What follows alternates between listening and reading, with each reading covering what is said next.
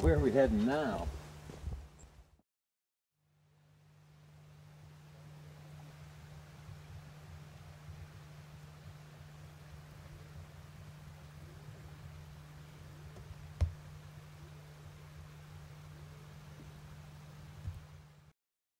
It's grody.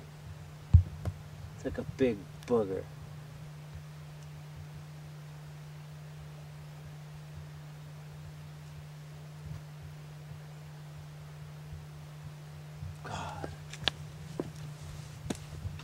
Let's find more of them.